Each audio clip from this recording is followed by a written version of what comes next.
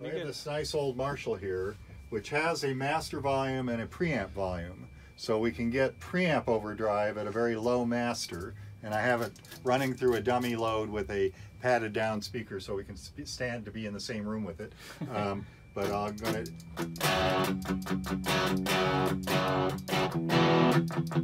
And a slightly out of tune guitar.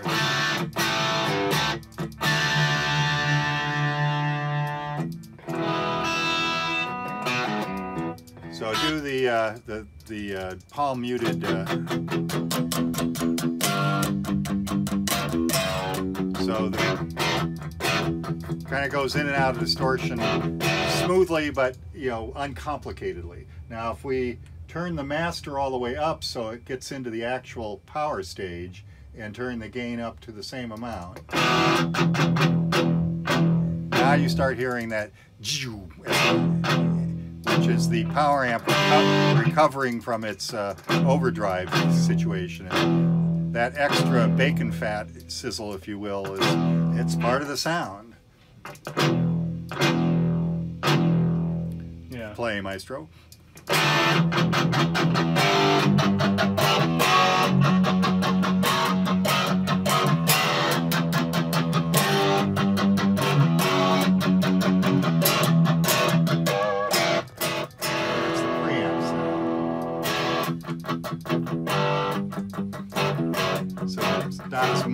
Much fizz and sizzle. Yeah. There's a presence not that much into a dummy load. A little bit. Just add some more high frequency? Yeah, it, uh, it, it interrupts the feedback circuit at high frequencies, letting the highs come through a little more. Gotcha.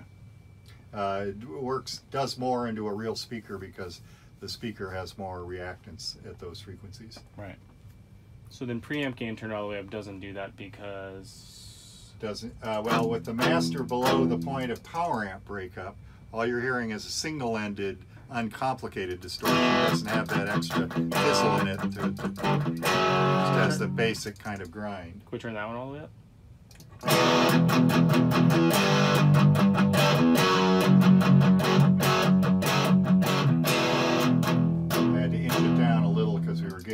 I can tell when we're getting into power amp distortion because watch the uh, waveform, the yellow waveform. Actually, hang on a second. Yeah, the pink waveform. As long as it's not flat top, we're not getting power amp distortion. But when yeah, you can hear it. When it starts getting a true flat top, that tells us we're actually clipping.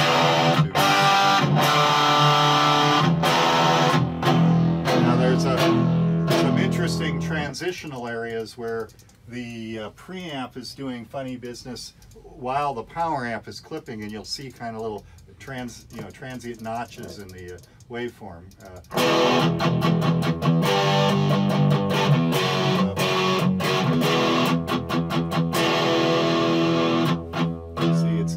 it's clipping twice, some in the preamp and some in the power amp, which adds a complex layer of overtones that um, we can get, for instance, with the Overdrive 200.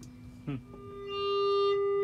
Gives that extra little, uh, extra little sizzle on the preamp. This amp's a little under biased because it's starting to distort before it actually hits clipping, but it helps it run cooler, so that's right. probably a good thing. Um, but if you uh, turn the master down below the point of power amp breakup, then you get this other kind of breakup instead. Uh,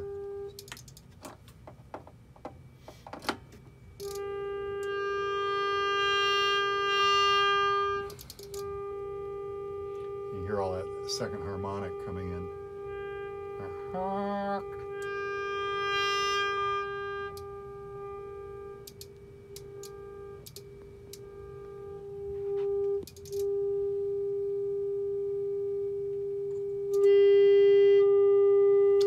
So, before we take this bad boy off the bench, I thought this would be a good chance to talk about uh, tube watts versus solid state watts, truth or fiction. Um, and as it turns out, there is truth to the long held opinion that a tube amp sounds louder than the same power of solid state amp. and we have an opportunity to demonstrate that right here and now. So Peter has hooked up his guitar. We Howdy. have a speaker in the uh, padded chamber that's pat that's damped way down and I'm running on a dummy load. So Peter will give us a few licks while we watch the scope. And you'll notice that the waveform is topping out, that's called clipping, and that's your classic effect of overdrive distortion. See it jumping or sagging a little when he hits a hard note, that's all part of the mojo, uh, kind of equalizes the balance between clean and dirty. Uh, now, as we turn this mat, the master down on this particular Marshall, uh, and we go back to looking at the waveform, another a, pre, a preamp stage is clipping now, and its waveform is different. So it's a somewhat different sounding kind of distortion. It's got all those kind of little peaks on there. But going back to our uh, this basic, uh, you know, power amp distortion, give us a couple of licks. Okay, you'll notice that it's again very flat top. Now, okay, hold on a second, Peter. When we measure the power of an amp on the bench, we normally input a sine wave tone uh, from a signal generator. Then I, as you watch the scope, I turn it up until you see it clip. There it starts to clip. And the signal, you know, the watt, the voltage level at that point, it can be translated into power. And as I turn it up harder, you can see the clipping develops some interesting additional character, part of which is relative to where the master volume is set. So there's higher master volume. We're really just getting the power amp distortion. Now notice some of the details. There's that funny little step in the middle. That's kind of part of the mojo. It gives that extra little bacon sizzle that's um, characterized by all the really classic amps. But here's the point about power. This is what we see on the bench. It's uh, maxing out just below plus and minus two divisions on the scope. That's into a dummy load. Now watch what, watch what happens when I switch the dummy load for a real loudspeaker, which is in a padded chamber so we can stand to be in the same room with it.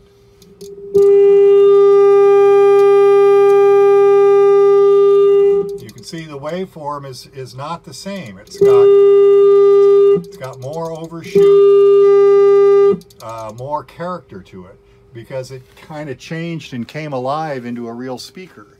That's one of the reasons a classic tube amp is always deemed to sound louder than a standard solid state amp because on a tube amp the waveform changes into a real loudspeaker. On a solid state amp it doesn't. It just retains that same flat top characteristic. All right, well, let's unhook this guy and uh, get this. Uh...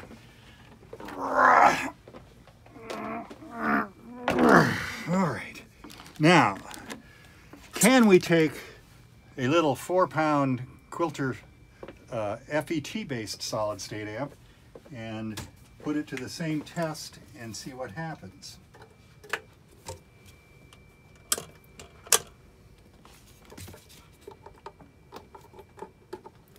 So we'll start with a viewing of the uh, um, the output signal as if we were playing the Marshall. Get it just everything on five here. Um, now one thing you'll notice right off, it's got more power because it went from the Marshall topped out about there and we have 200 watts so we go a little further. But of course we have a master volume that lets us keep that waveform at any volume level we want. So I'll set it about the same as the Marshall uh, approximately 100 watts. Now you notice we've got some of the same action going on here there's the way the peaks sag a little as we punch in more gain we've got the uh, little extra sizzle in the middle uh, but it, you know, uh, into the dummy load, it's pretty much a uniform flat top, just like it was uh, with the tube amp in a dummy load. But watch what happens when we switch to the real speaker.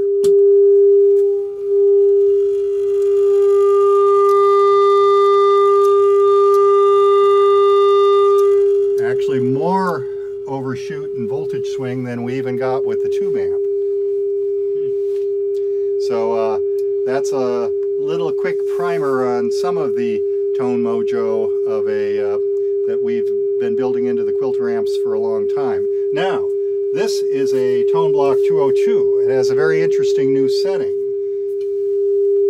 Going back to the dummy load, we have a setting called FRFR, which turns the amp into a conventional solid state amp. I'm going to flip the switch. You see virtually no change on the signal, but watch what happens into a real speaker.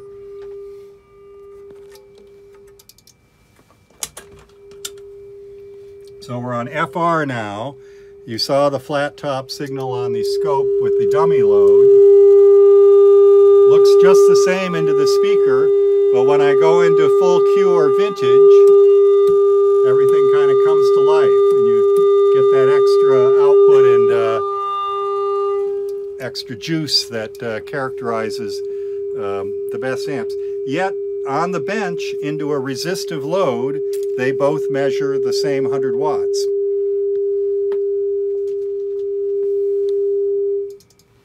Um, now while we're at it, I suppose, we can mention a few things. Here is, again, suppose there's some voltage overdrive.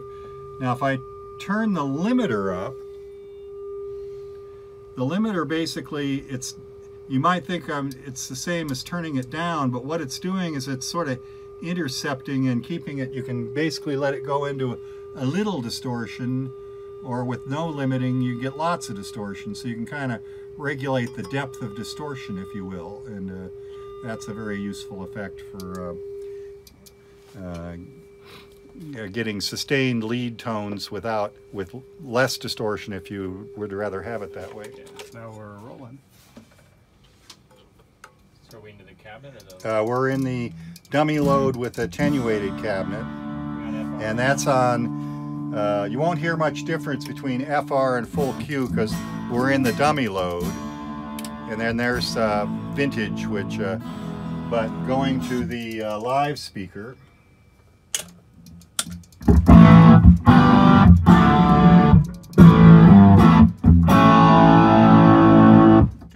this for a tone example. This yeah, yeah, uh, yeah. The speaker is uh, is inside a padded chamber, so we can stand to be in the room. But uh, when you're in front of the speaker, it's a very uh, bright and awesome experience. and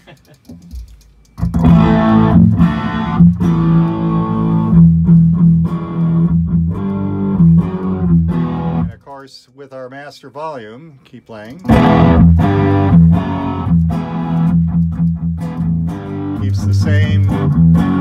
Waveform from, you know, right, right down to zero or all the way up to full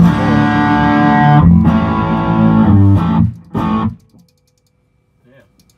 So there you have it.